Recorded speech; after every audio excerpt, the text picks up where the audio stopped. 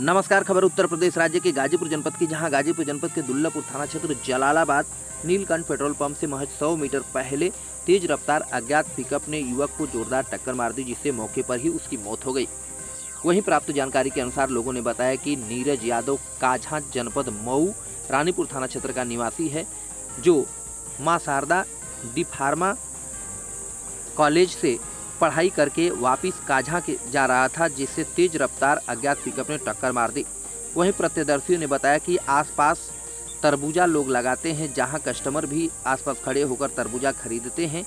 जिससे युवक बचने का प्रयास किया, लेकिन लोगों के खड़ा होने की वजह से रोड नहीं छोड़ सका और हादसे का शिकार हो गया, जिसमें गाड़ी पूरी तरह से परखच्चा उड़ गई है। वहीं उसकी माँ का कहना है कि हमने बार बार समझाया कि हेलमेट लगाया करो, लेकिन वो अच्छा बेटा बोलता था कि मुझे गर्मी होती है अगर हेलमेट होता तो आज यह दिन नहीं देखना पड़ता, जबकि